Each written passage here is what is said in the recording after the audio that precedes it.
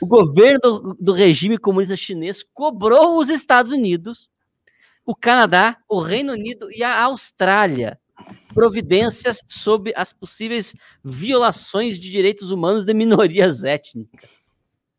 O pedido foi feito no último dia 24.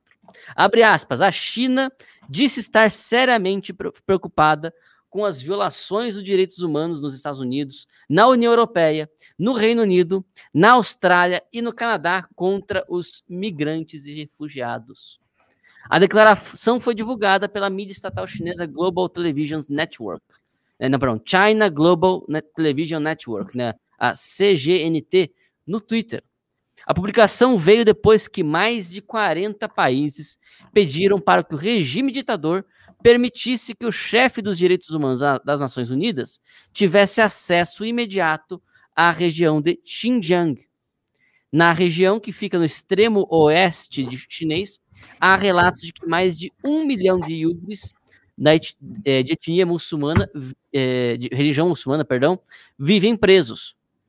Os relatos são de que essas pessoas são torturadas e são vítimas de trabalhos forçados, o que chama de reeducação, né? É sem mais rir. ou menos, eu vou, sem, sem rir, tem que, tem que comentar sério, é mais ou menos como se o casal Nardoni tivesse me é, feito uma queixa minha para o conselho tutelar. É mais ou menos isso, para a pessoa entender. Assim, falando aqui sobre o, o regime chinês, eu acho que as pessoas e eu fico preocupado com isso, porque aqui nos Estados Unidos, principalmente na geração Z, né? Esse agora, e os millennials, o pessoal gosta agora, tá gostando de chamar de cringe, existe um desconhecimento muito grande sobre o que, que foram, o que, que, o que, que o Partido Comunista Chinês de fato fez na China. Uh, o que que, quais foram, quando a gente fala que é um regime sanguinário, quando a gente, o que, que ao que, que a gente está se referindo? Tem número de mortes, tem alguma coisa assim. E eu peguei aqui uma apenas o, o, o levantamento da agência France Press, e esse levantamento é de 1999, então ele não foi é, adiante depois disso, mas ele fala no seguinte: é, os purges, né, os purges, os, os as, as, purgas, não sei como é que, como, os expurgos, é, acho que é a tradução correta. Só os expurgos rurais do, do regime comunista. Isso só está falando depois que o Mao entrou no poder, porque também tem as mortes da guerra civil é, é, da guerra civil chinesa, mas só os expurgos chineses, estimativa de 2 a 5 milhões de expurgos chineses, é, expurgos rurais. Os expurgos urbanos, de 1950 a 1957, 1 milhão. No grande salto adiante, ninguém sabe quantas pessoas morreram a estimativa é de até 43 milhões de pessoas mortas nos grandes salto, no grande salto ao diante. Na Revolução Cultural, 7 milhões. E eu já vi estimativas de 20 milhões na, na Revolução Cultural. Nos campos de trabalho forçado, 20 milhões de, de mortos. E no Tibete, alguma coisa como 1,2 milhão de mortos. No total, 72 milhões de mortos pelo regime uh, do Partido Comunista Chinês tá?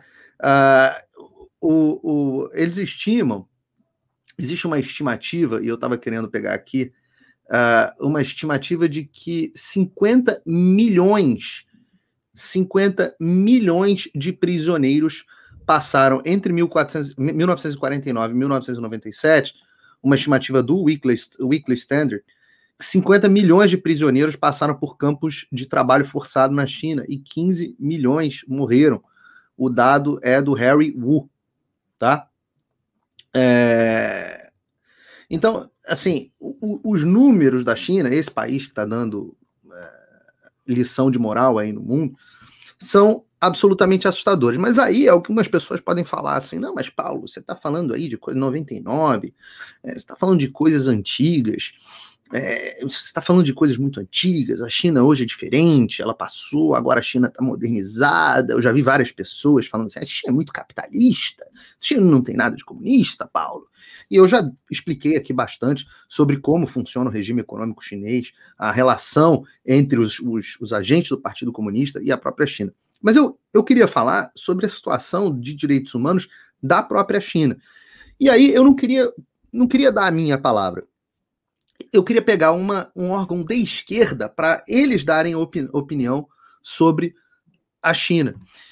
E a minha recomendação nesse sentido é, é justamente o, o, o, o, Human Rights Watch, né? o Watch de Direitos Humanos, que é uma ONG americana é, baseada em Nova York, e as pessoas falam, mas são americanos. Só para vocês entenderem, o Human Rights Watch é uma ONG basicamente financiada pelo George Soros, financiada pelo George Soros, pela Bill e Melinda Gates Foundation, agora já não sei mais se é Bill e Melinda, mas pela fundação do Bill Gates, funda, é, Fundação Ford, enfim, todo mundo aí que, a galera que gosta mais de, de falar sobre, sobre globalismo, pode, pode atestar. Esse, esses são os principais financiadores do Human Rights Watch. E eu não, não eu, talvez eu coloco aqui daqui a pouco no meu, no meu Telegram, para quem quiser acompanhar, uh, quem são é, o que, que, diz o relatório de 2021 da Human Rights Watch? Essa é a mesma ONG que toda hora que alguém morde um tiro no Brasil, eles dão um e tudo mais. Uma ONG de esquerda, bem de esquerda mesmo. E aí, o que eles dizem aqui é o seguinte: é relatório de 2020. O autorismo do governo chinês está em plena exibição em 2020, enquanto lutava contra o surto mortal de coronavírus é, que surgiu pela primeira vez na província de Wuhan, e a gente vai falar sobre isso mais daqui a pouco. As autoridades inicialmente encobriram as notícias sobre, é, sobre o vírus, depois anotaram medidas severas de quarentena em Wuhan e em outras partes da China. O governo rejeitou os apelos internacionais para investigações independentes e restritas sobre a forma como as autoridades chinesas lidaram com o surto e vigiou e assediou famílias das pessoas que morreram com o vírus e, e, aí eles continuam aqui, ó. Silenciamento dos defensores do, dos direitos humanos, jornalistas e ativistas por autoridades chinesas. É... E, e eu, eu, eu, posso passar aqui pelos principais nomes. Ó, Hong Kong, um milhão de pessoas de Hong Kong marcaram o ano novo marchando pacificamente pela democracia, mas em janeiro de 2020 o governo chinês substituiu seu alto funcionário de Hong Kong por Lu Huinin, que não tinha experiência em Hong Kong, mas era conhecido como executor do Partido Comunista. E aí ele cita todas as, as, as violações que aconteceram em, em Hong Kong, inclusive, uh, uh, aqui, continuando aqui, os, os, policiais, a repressão das forças policiais, a, a repressão dos, protest, dos, dos, pessoas que estavam, dos manifestantes, uh, a restrição das liberdades de imprensa. Aí ele fala, o relatório segue falando sobre Xinjiang, né? A gente está falando aqui da, dos, dos uigures, né? Uigures, dependendo da pronúncia de cada um, e outros muçulmanos turcos na região. Uh, cita uma reportagem da própria CNN, fala que Constru... Olha só, em agosto, um outro estudo de imagens de satélites revelou que as autoridades de Xinjiang construíram mais de 260 campos de detenção em massa desde 2017. Uh, ah, e, e, enfim, uh, alguns dos, dos, dos, dos que são libertados são forçados a trabalhar em fábricas e campos de trabalhos forçados dentro e fora de Xinjiang. E, e as autoridades descrevem, to, lembra que todos os esquerdistas é, sempre usam é, eufemismos quando descrevem as suas políticas, e essa, as políticas de trabalho forçado são esforços de redução de pobreza.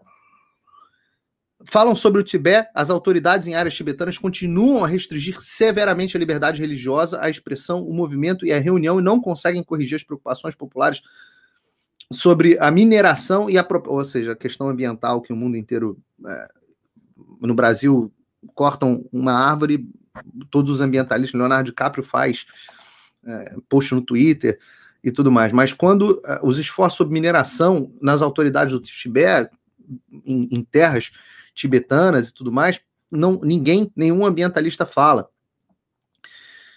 E eu, eu não quero entrar aqui, nos, fala sobre a Covid-19, que eu já citei aqui, uh, fala sobre a questão dos, dos da, as autoridades continuam a reprimir uma comunidade autora crescente de defensores de direitos humanos na China, cada vez mais atacam familiares de ativistas, e aí eles citam casos aqui, é, uma reunião em Xiamen, é, as autoridades em Guangzhou prenderam o proeminente ativista Xu Jinjiong, e anteriormente preso, acusando de subversão. A, a polícia também colocou a namorada dele sob detenção secreta por quatro meses.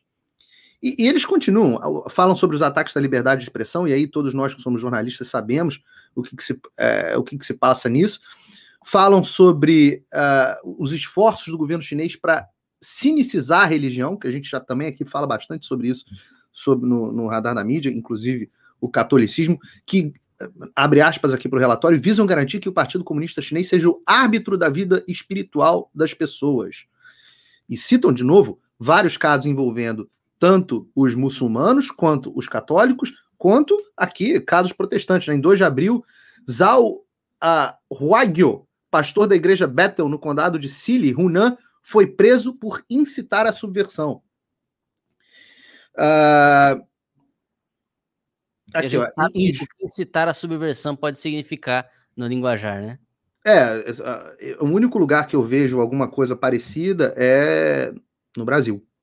Protestos por atos antidemocráticos e a gente tem um deputado federal preso por também incitar a subversão por um outro regime ditador de esquerda, um pouquinho diferente, mas com as mesmas ideias. É, em julho, hackers originários da China foram encontrados espionando redes de computadores no Vaticano. Em, em, em, outubro, e a gente falou sobre isso aqui no Radar da Mídia, o Vaticano renovou um acordo não publicado de dois anos com o governo chinês que permite que ambas as partes uh, tenham uma palavra na nomeação dos bispos da China. Da, ou seja, os bispos católicos têm que ter.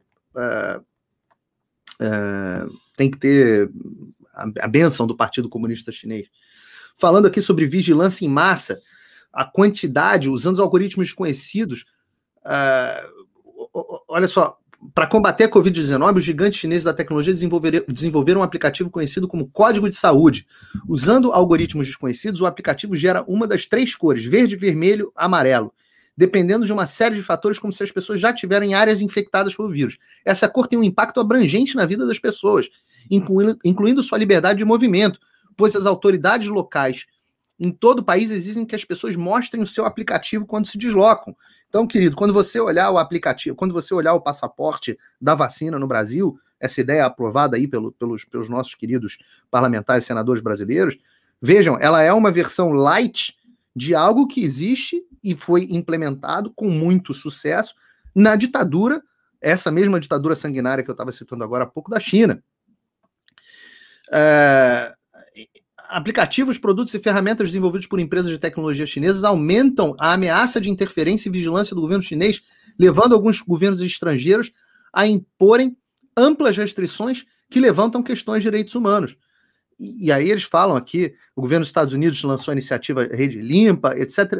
Essas coisas que quando a gente fala aqui sobre aplicativos espionando as pessoas e violando os, os direitos e as liberdades individuais das pessoas, e, e, e, no Brasil a imprensa simplesmente finge que isso não existe, finge que o Trump bloqueou o TikTok e o WeChat porque ele era maluco. Tá aqui, relatório do Human Rights Watch. Não é uma invenção.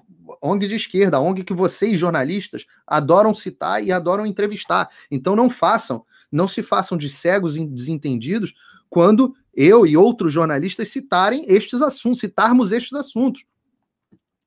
Direitos das mulheres e meninas. Olha, olha, olha. Quem diria, né? A, a gente está vendo aqui a Rede Globo, Fátima Bernardes, pô, transadona, descolada. Nunca vi falar uma palavra sobre a China, mas de acordo com o relatório aqui, de acordo com os ativistas dos direitos das mulheres, os casos de violência doméstica aumentaram em cidades e vilas sob o confinamento do coronavírus. Mas que coisa impressionante, né? A gente falava sobre isso aqui, sobre o aumento da violência doméstica quando você faz confinamento forçado das pessoas, e todo mundo achava que era uma coisa de maluco, era uma teoria da conspiração. Estou lendo aqui Human Rights Watch. Relatório de esquerda. De novo, são os caras, queridos jornalistas, colegas, são os caras que vocês gostam de ouvir. Em junho, o Congresso Nacional do Povo, o Parlamento Nacional da China, introduziu um código civil que, pela primeira vez, define o assédio sexual e declara que os perpetradores podem ser responsabilizados, embora seja vago sobre os recursos disponíveis para vítimas. A lei também torna mais difícil o divórcio, mais difícil o divórcio.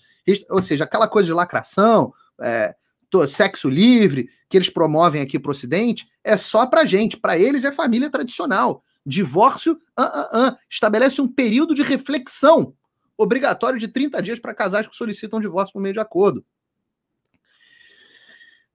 E aí falam dos ataques, uh, uh, o, o, sobre os ataques que as, que as, que as, que, os, que as pessoas, que as feministas, que as, as manifestantes feministas sofrem na China, porque não dão em nada. Orientação sexual e identidade de gênero. A gente está em junho, né? O Pride Month, terminando aqui o mês do orgulho, todo, essa, todo esse assunto no Brasil, a gente tem pauta sobre esse assunto hoje no programa.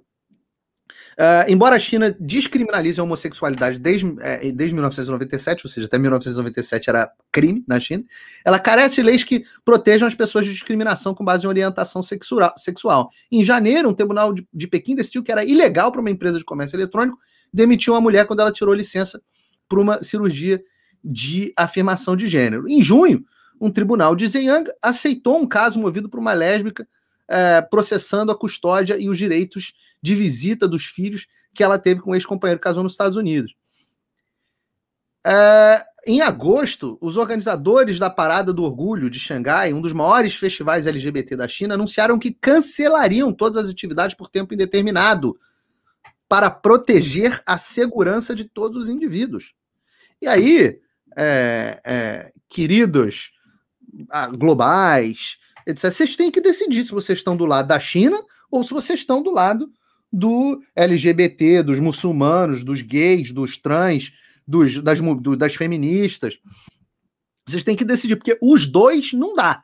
E vocês têm que decidir se essas coisas, que essas afirmações que a gente faz aqui sobre a China, se são teoria da conspiração ou se o Human Rights Watch é uma instituição séria. Porque os dois também não dá, né? Já que eu estou citando aqui o próprio relatório. E aí ele continua falando sobre refugiados, falando sobre a política internacional da China, sobre a política externa da China, e eu vou colocar o, o, o esse, eu vou colocar esse relatório no meu Telegram, na íntegra, para as pessoas que quiserem assistir. E quem não tiver, tiver no Telegram, procura lá, Human Rights Watch Report China 2021, deve ter uma versão em português.